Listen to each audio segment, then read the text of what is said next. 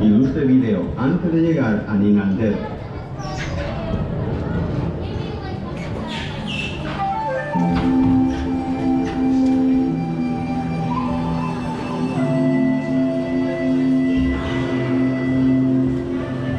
Welcome to a voyage of discovery and awareness of the richness, the diversity, and the often surprising nature of living with the land. Our journey begins as dramatic and sudden changes are sweeping over the land. The approaching storm may seem violent and destructive to us, but to nature, it's a new beginning in the cycle of life.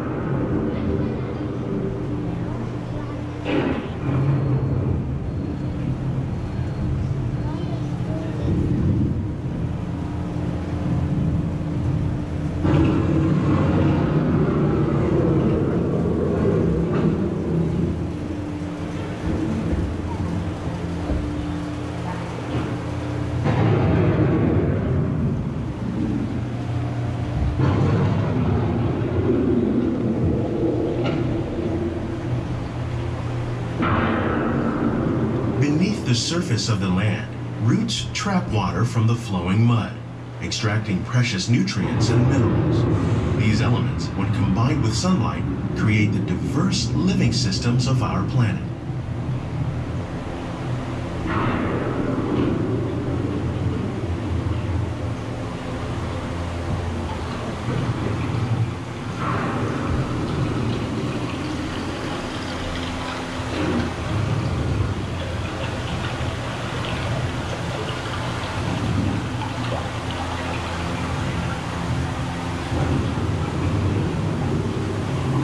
One of those living systems is the rainforest, home to the most amazing concentration of life on our planet.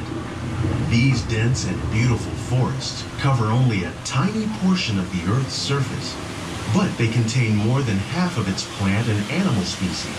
Rainforests are also extremely rich and productive living systems, providing us with oxygen, food, medicines, and other elements essential to our lives.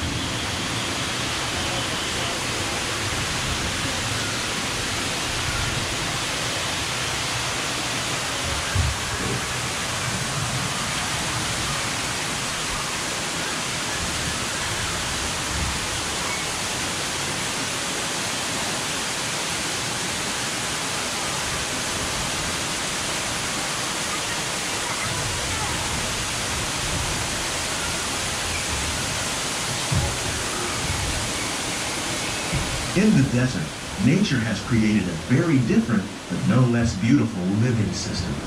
And while this arid landscape may seem lifeless, it is very much alive. The plants and animals that have learned to survive in these harsh conditions make use of what little water they can find and avoid the scorching rays of the relentless sun. The American prairie once appeared as desolate as the desert, but over time, rainwater and nutrients gradually penetrated the hard surface of this land. Even the hooves of the mighty buffalo helped create the rich soil that would one day become home to the American farm.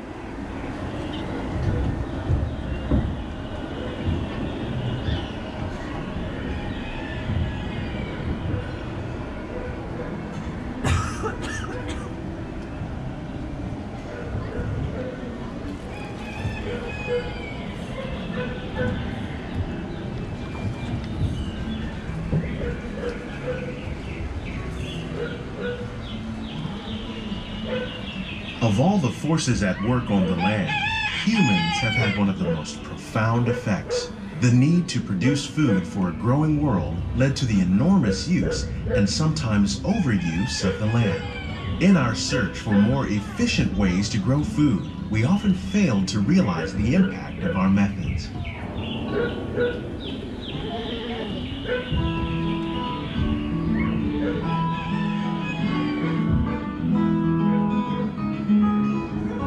Today, we're learning to live with the land, discovering better ways to grow food that will assure both human and environmental well-being.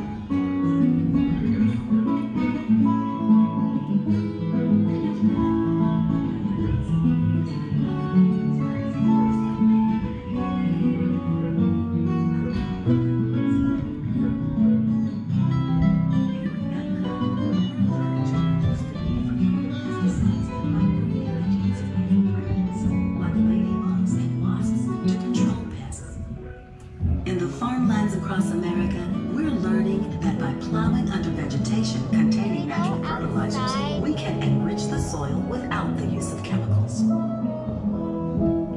In arid regions, we're learning to produce food on desert seacoasts by developing and planting crops that thrive on salt water. In Japan, we're learning that by mixing leaves and other living materials into our soil, we can make farmland more fertile without the need for chemicals. At Epcot, How will we meet tomorrow's growing needs for food production, yet still respect the needs of the land? Some of the answers are being discovered just ahead. To help us maintain these carefully controlled ecosystems and for your safety, please remain seated in your boat at all times.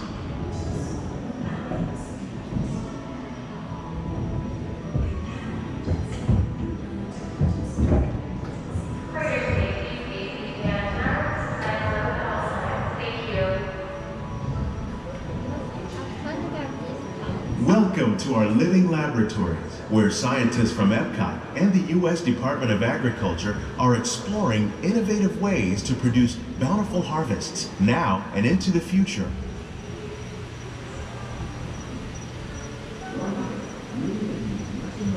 The tropics are home to the greatest diversity of plants on the planet. Many of these, like papaya, bananas, cacao, coffee, and rice, are well known around the world. These are just a few of the edible plants that have been an important source of nutrition for people living in the tropics. Many are rich in vitamins and minerals, while others are well adapted to growing in less than ideal conditions. Some, like the water lily, thrive in wet, swampy areas and waterways. All parts of this plant, even the flower petals, are edible. The starchy root of the plant has long been used to make flour for baking.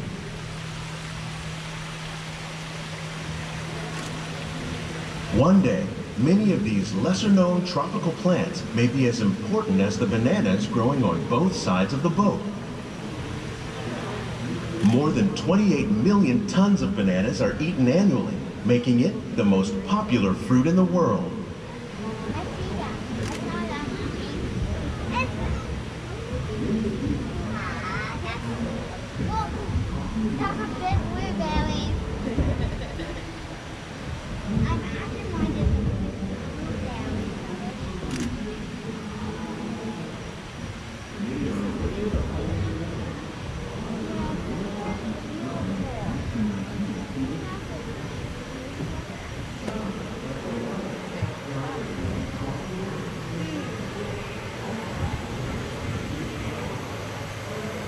When we mention farming, you probably don't think of fish.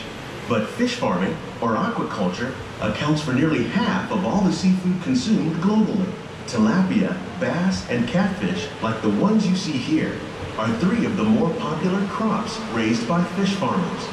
The sustainable system we're using here recycles the water in the tanks. As a result, we're able to save millions of gallons each year our small fish farm produces nearly 5,000 pounds of fish each year to serve in restaurants around Wal- Innovations like this one can play an important role in our efforts to produce bountiful harvests and still protect natural resources.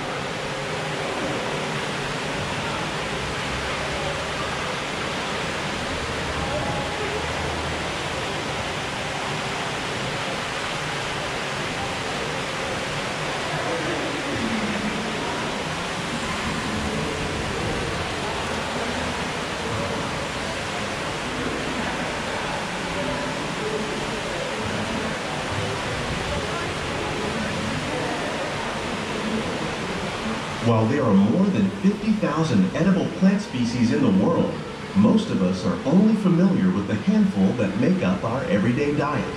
The common grains growing here, wheat, maize, sorghum, and millet, plus rice, account for nearly two-thirds of our global food consumption. Learning how to increase yields of these staples is an important goal of research around the world.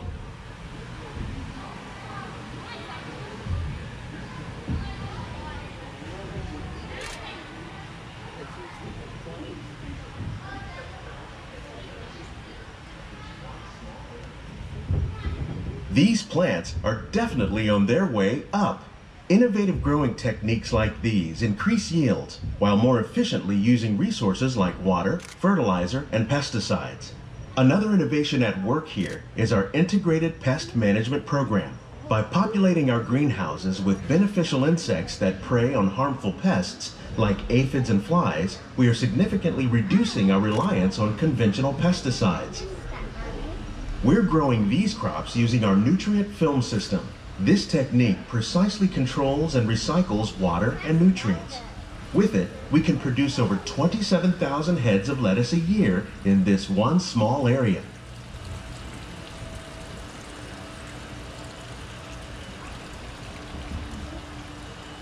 What is audience nutrition do? Watercolor. Some of our best ideas have been inspired by nature, like these fruit and vegetable trees. By growing these ground plants vertically, we can increase yields and better control diseases. These crops taste as good as they look. In fact, we serve more than 15 tons of produce from our greenhouses in restaurants here at the land every year.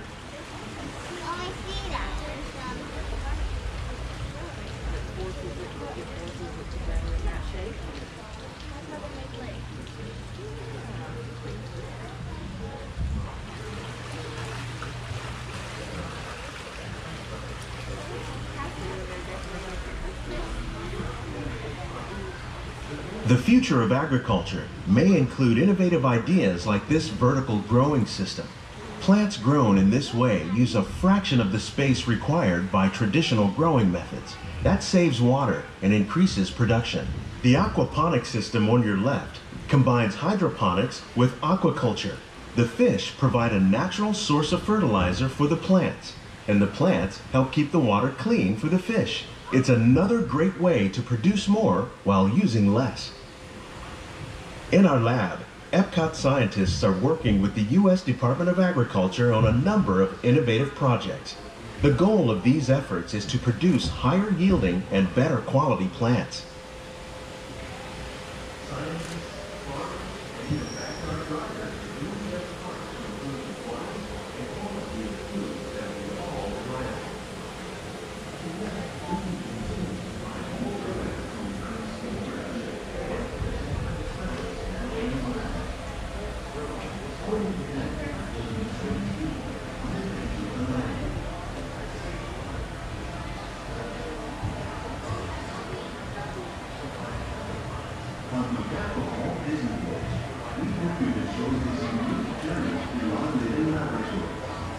These greenhouses represent just a fraction of the work being done worldwide to produce bountiful harvests for our growing population. Scientists, farmers, and even backyard gardeners are doing their part to improve the quantity and quality of foods that we all rely upon. Together, we can continue to find more ways to increase food production and protect our precious natural environment. Only then will we truly be living with the land.